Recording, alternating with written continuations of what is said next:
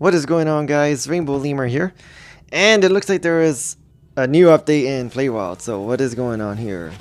So, oh yeah, by the way, giraffes are here in Play Playwild. So what does it say? Make way for the tallest animal in Jamaa, which is me by the way. Giraffes are here and they're hard to miss. Uh, duh. These animals make excellent lookouts, obviously.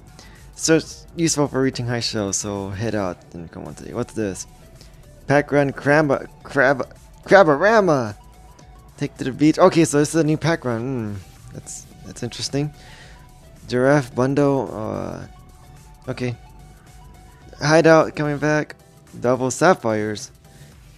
During the month of July, members will receive double the daily sapphires. This means 10 sapphires every day. Oh my gosh. That wait. Outback. Uh, that's from last year. Dash tag. Dash tag. People still play that game? Oh wow. If you ask me, it seems just like Animal Jam is leaning more towards AJ Play Wild. Like, they're not really play paying too much attention to computer Animal Jam that much anymore. They're not putting all that much effort into computer AJ. Like, they keep on putting the same stuff in AJ.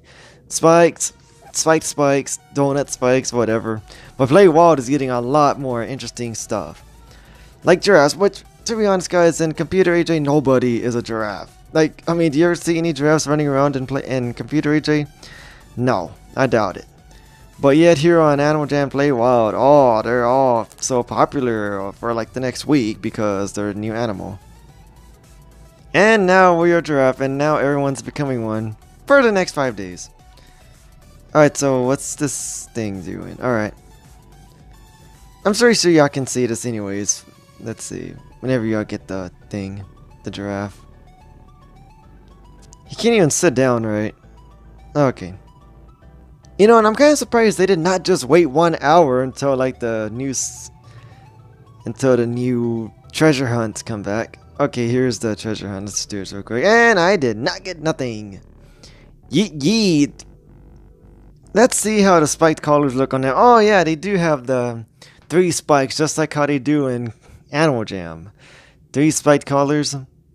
Yeah, that's exactly what they did on the thing, on Computer Animal Jam.